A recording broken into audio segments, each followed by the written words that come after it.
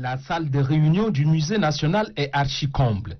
Les artistes de différentes corporations se sont mobilisés pour cette toute première rencontre avec la ministre de la Culture et de la Promotion de la Diversité. Une forte mobilisation qui est à la hauteur de la rencontre.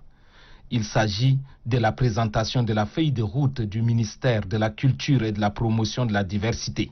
Une feuille de route qui donne de l'importance à la culture comme vecteur de la paix et de la concorde nationale. Nous avons détruit nos valeurs culturelles. Nous avons détruit notre identité.